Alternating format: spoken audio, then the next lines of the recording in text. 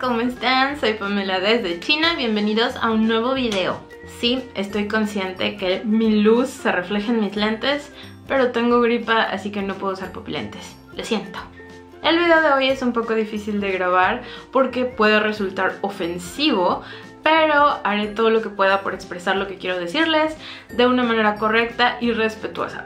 Empecemos. Como ya vieron en el título, este video va a tratar acerca de mi viaje a Bali. Y hablando de Bali, se preguntarán Pamela dónde está el blog de Bali. Lamento decirles que no va a haber blog de Bali. Si ustedes me siguen en Instagram sabrán que el segundo día o el segundo o tercer día tuve un pequeñín accidente en la moto, así que no grabé casi nada. Grabé un montón de Insta Stories porque es solamente con el celular así de rapidín, pero grabar con la cámara no pudiendo caminar fue imposible. Así que en vez de eso les traigo este chisme. Y también tendré un video acerca de los precios de Bali porque me han preguntado mucho de eso. Y pues ese va a ser el siguiente video después de este chisme. Pero bueno, empecemos. Como ustedes sabrán, a mí me gusta muchísimo viajar. Es algo que me apasiona, yo lo llamo como que mi hobby, mi hobby más caro y me llena de muchísima ilusión cuando voy a viajar, por lo que me gusta informarme acerca del destino lo más que pueda. Me gusta ver documentales, me gusta leer libros al respecto, me gusta ver videos de viajes en YouTube. Es más, aunque a veces no vaya a viajar, de todas formas a mí me encanta ver videos de viajes en YouTube o me encanta buscar cuentas de viajes en Instagram y me pongo a ver fotos y sueño en algún día poder ir y me imagino que no soy la única. He visto mucho acerca de esto en Twitter o hasta en Instagram o en YouTube como hay un nuevo fenómeno que se llama viajar solamente por Instagram o algo así vendría siendo en español. Y pues sí, sí, admito que he ido a lugares o a restaurantes porque he visto las fotos en Instagram, se me hizo interesante y bonito y yo también quiero ir. Creo que muchos hemos hecho eso. Y pues Bali yo siento que es uno de los destinos más instagrameables de la historia, por lo que hay mucho, mucho contenido al respecto.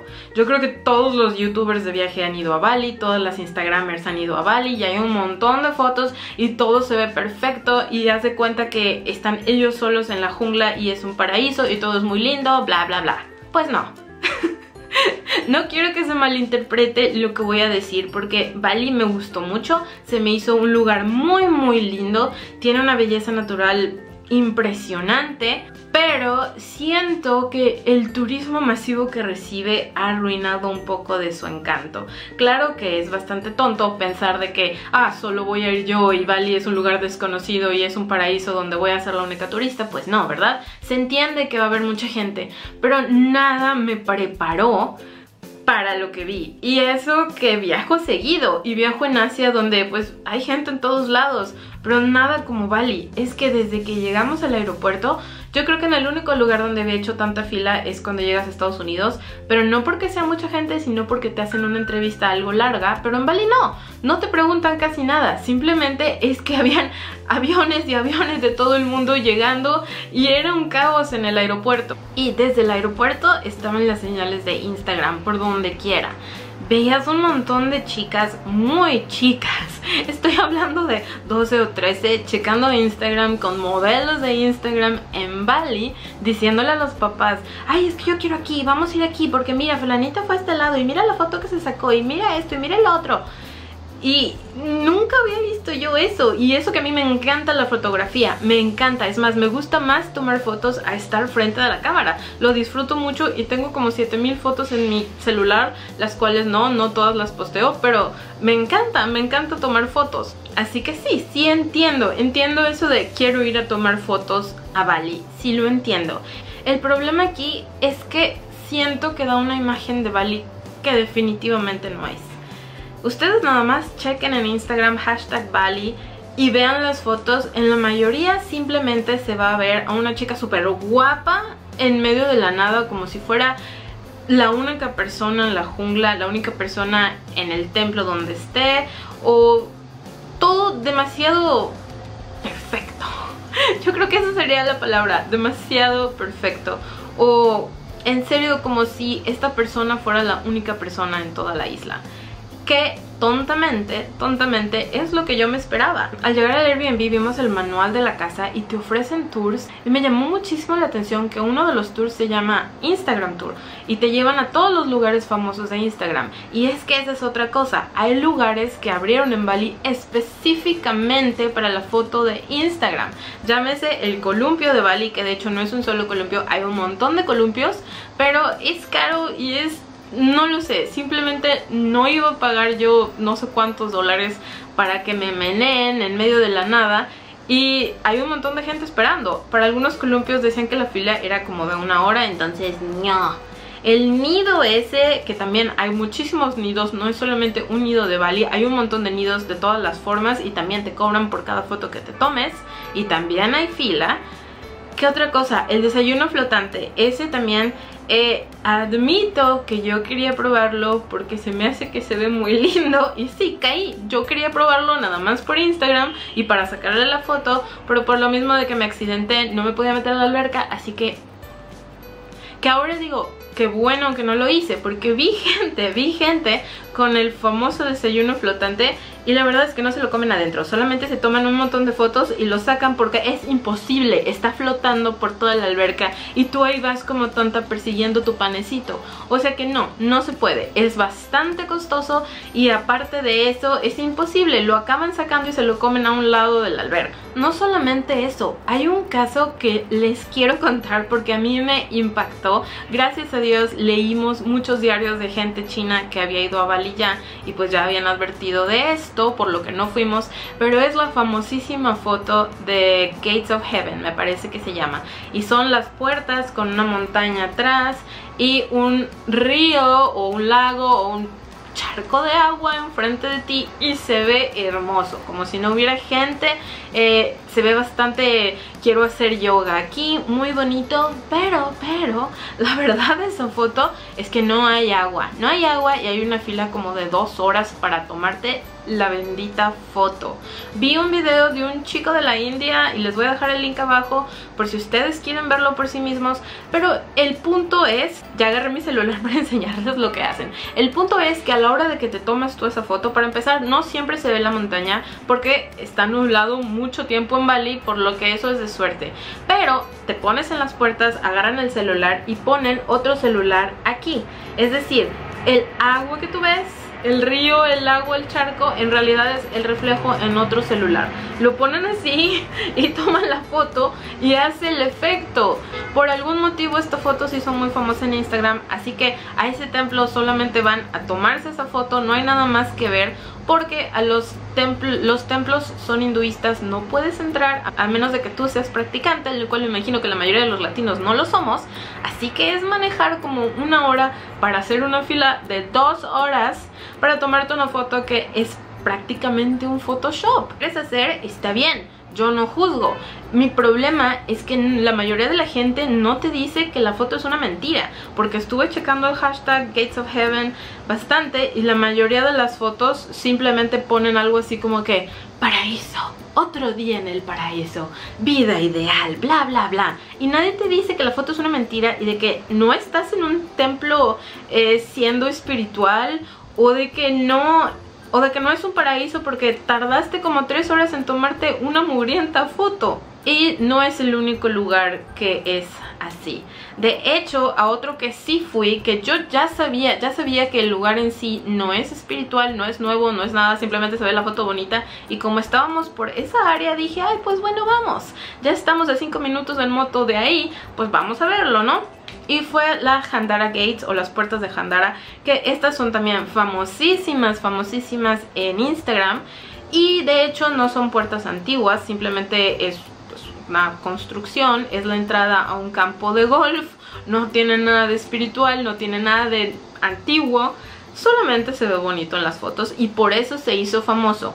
Tú le das clic al hashtag de Handara Gates ves lo mismo, la foto perfecta, ya sea en pareja, en familia, chicas haciendo yoga, todo se ve súper lindo, estás en medio de la nada, se ve tan Bali o tan lo que yo me imaginaba que era Bali, pero al llegar, mm, mm, mm, había un montón de autobuses ya ahí y te cobran O sea, no es una atracción en sí, repito, es simplemente un camino, o sea, está a un ladito de la carretera y es la entrada a un campo de golf. Pero si tú quieres tomarte una foto te van a cobrar. Nos pararon, nos dijeron, ¿Va? ¿a dónde van? No, pues vamos a ir a ver las puertas. Ok, te cobran. Fueron 30 mil rupias, que son, ¿qué será? Como unos 2 dólares, me imagino, más o menos. Si es que mis cálculos están bien, sí, como 2 dólares. Que yo sé que no es mucho. Pero vean, ya lo hicieron negocio, nada tontos. Te cobran y te dicen, ok, pásele a formarse. Había una fila que yo dije, ah, pues bueno, se va a ir rápido, se va a ir rápido porque pues simplemente te tomas la foto, tú, tú, tú, y ya te vas, ¿no? Claro que no, claro que no. Fue de los paseos de los que más me arrepiento haber gastado mi tiempo haciendo la fila. Mi foto salió muy bonita, eh, para cuando vean este video yo creo que ya la voy a haber posteado en Instagram, pero si no pues aquí está. Está muy bonita, nos tomamos fotos de pareja, nos tomamos foto individual, todo súper rápido, ¿eh? todo en menos de un minuto lo hicimos pero no toda la gente es eh, tan amable como nosotros o tan consciente de que hay una fila enorme con parejas, con chicas, con familias, con niños esperando su turno para la foto. Cuando nosotros llegamos, yo vi y dije, bueno, pues son como unas 20 personas, mmm, a lo mucho unos 15 minutos o 20 minutos, ¿no? Un minuto por grupo, era lo que yo pensaba. Claro que no. Al principio de la fila estaban tres chicas y estaban esperando su turno porque había una familia tomándose las fotos y vi yo que empezaron a cambiarse, o sea, traían su ropa normal, las de viajeros, andaban en short, en una playera, traían el traje de baño abajo y traían su mochila y en las mochilas traían vestidos de esos súper lindos que se ven muy bohemios, traían el maquillaje, los aretes, traían todo, pues empezaron a cambiarse, pintarse, todo y dije, ah, pues, pues qué padre, ¿no? O sea, quieren salir lindas en la foto, está bien. No, no está bien, se tardaron yo creo que 15 minutos cada una. O sea, échenle. Estuvimos fácil 40 minutos esperando que esas mujeres terminaran su sesión de fotos porque resulta que eran instagramers y oh por Dios, es que se tomaron tantas fotos y no solo las fotos, tomaron video. Y yo ni siquiera sabía que eso era la onda ahora, pero se toman video con música para subirlas en las historias. Y pues caminaban de un lado a otro de la puerta y mientras la otra estaba tomando la historia con el celular y la otra traía otro celular poniendo música. Tenían la canción de señorita de fondo y estaban una por una haciendo eso. Se regresaban, checaban la toma, decían no, no, no, no, otra vez, hazlo, bla, bla, bla tardaban tanto y todos en la fila ya desesperados viéndolas así como que, por Dios, estás viendo que hay muchísima gente que acaba de llegar otro autobús lleno de chinas que se quieren tomar la foto y no les importa. Y es que el lugar como no es de nadie, es simplemente una calle a la que no sé quién se le ocurrió estar cobrando, nadie te dice que hay límite de tiempo, entonces si ellas se quieren quedar una hora tomándose la foto, están en su derecho, se podría decir, pero se me hace muy desconsiderado para el resto. Y eso viniendo de mí, que soy una persona que también me gusta tomarme fotos para Instagram, y me gusta tomar fotos de la gente para que las suban en su Instagram y todo, pero nunca haría eso. Viendo que hay un montón de gente, pues ya te la tomas, sales linda, ya te arreglaste las chicas eran bastante guapas aparte, salen bien, pero no, se los juro que yo creo que acabaron con 100 fotos cada una. Fue tan, tan, tan desesperante, pero tan desesperante. Ya cuando terminaron, ni siquiera, ni siquiera dijeron perdón ni nada. Se quitaron el vestido, se arrancaron los aretes, pusieron todo en la mochila, se fueron y estaban ellas encantadas eh, viendo sus historias. Y bien estaban diciendo en la fila, porque ya pues estás ahí formada media hora, empiezas a platicar con los de adelante, con los de atrás y todo, y todos así de, chécalo en la noche, el hashtag de Handara Gates, y de seguro vas a ver estas chicas. Y sí, sí, sí, las vi. Y vi el video y se los juro que es completamente diferente. Yo no sé cómo lo editaron, pero no se oye ningún ruido más que la canción de señorita y ella caminando, se ve súper lindo, o sea, sí, sí les quedó padrísimo, pero mi problema aquí es que ese tipo de videos fueron los que yo vi y los que pensé que en serio era así, que no había gente, que era una puerta que podías ir, tomarte la foto, irte, a los 10 minutos llegó otra persona, se tomaba la foto, se iba y todo bonito.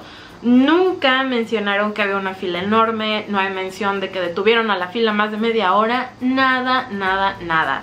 Y a eso es a lo que voy y a eso le voy a poner así el video, la mentira más grande de Instagram porque te da a entender que Bali es algo que no es. Repito, Bali es bellísimo, pero no es lo que tú ves en Instagram. Yo creo que la belleza más grande de Bali. Yo lo encontré en la carretera en los lugares que no se han vuelto famosos en Instagram, en platicar con la gente, en hacer amigos ahí, en irte a pasear a lugares no instagrameables fue lo que yo más disfruté, porque a cualquiera de los lugares que son famosos en Instagram, hasta Nusa Penida, el de la, eh, la bahía con forma de Rex, está hermosa, está súper bonito pero fue súper difícil sacar una foto, fue difícil acercarme a ver sin que me estuvieran eh, las chicas empujando porque habían chicas igual tomándose fotos y no les importaba que hubiera más gente que también se quería sacar la foto, estaba la chica ahí en traje de baño arriesgando su vida villita, donde no hay cerca, no hay nada, si se cae se muere, pero ella quería la foto perfecta. Sí, sí tomé un pequeño video y aquí lo van a estar viendo. Miren la realidad de Instagram. Si se cae se muere.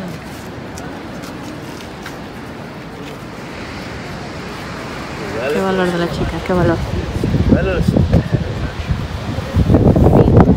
Y no, no, lo sé, no lo sé. Se los juro que fue bastante impactante para mí todo el viaje. No solo por lo lindo que fue y por todos mis accidentes, pero por el poder de la, el poder de Instagram, el poder de las redes sociales es enorme. Y, esto lo escuchan mucho, yo sé que lo escuchan mucho y hay muchísimos videos en YouTube hablando al respecto acerca de cómo no crees todo lo que ves en las redes Em, y sí, sí, y más como adultos y pues creo que todas ya sabemos, sabemos de que no debes de fiarte de lo que ves Creo que la mayoría de la gente por lo menos edita sus fotos de que le cambias la luz para que se vea más bonito, ¿no? Más luminoso o sabes posarle para que no se te vea la panza, ¿no? O que se te vea tu lado bueno Eso es normal, eso está bien eh, pero aún nosotras que hacemos eso, o sea, que somos gente normal y hacemos eso, imagínate la gente famosa, o sea, la gente que su trabajo es venderte ese viaje y venderte el sueño. Y nosotras tontamente caemos, o sea, tontamente vamos y pensamos que ibas a ir a un viaje al paraíso y resulta que fuiste al viaje del paraíso de Instagram porque solamente existe en Instagram. La realidad es completamente distinta. Y pues bueno, eh, ya me dio calor, así que hasta aquí voy a dejar el video. Espero que mi mensaje se haya entendido bien. No estoy diciendo que Bali sea feo y que no me haya gustado el viaje, no, no, no, para nada. Estoy súper agradecida de haber podido ir. Y aquí se me acabó la pila de la cámara. Lo siento. Espero les gustara mucho el video. Nos vemos en los comentarios.